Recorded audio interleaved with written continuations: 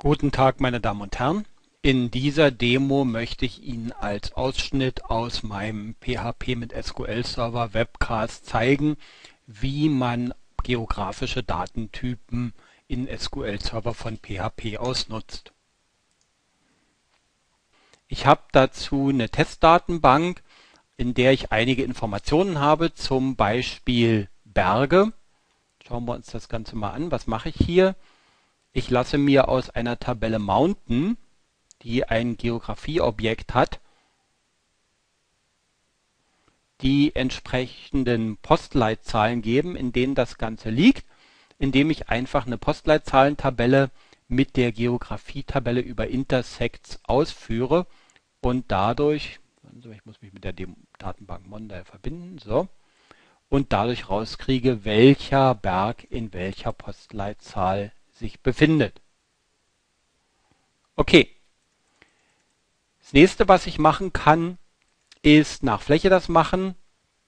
Zum Beispiel hier eben alle deutschen Postleitzahlen nehmen und die Fläche berechnen. Das, weil es Quadratmeter dann sind, durch eine Million teilen, habe ich Quadratkilometer und bekomme also die größten deutschen Postleitzahlgebiete heraus. Zehn Stück. Sie sehen hier, Templin ist der größte Postleitzahl mit 848 Quadratkilometer. Ich kann mir im Management Studio das Ganze auch grafisch anzeigen lassen mit verschiedenen Projektionen wie etwa Mercator. Ich kann auch angrenzende Postleitzahlen machen. Diejenigen, die sich mit meiner alten Heimatpostleitzahl 13189 entsprechend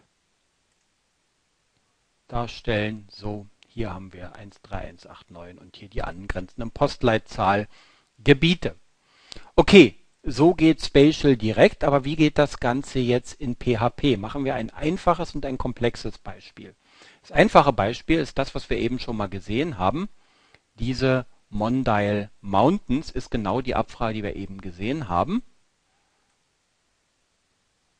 Ich nehme also, verbinde mich zur Datenbank Mondial,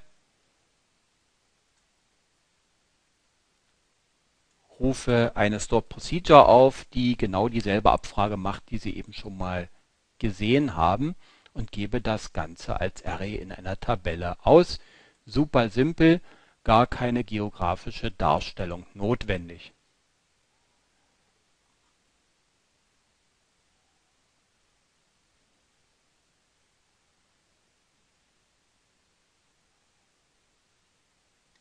Gebe hier also eine Stadt ein, sagen wir mal, ich bin gerade in Berlin.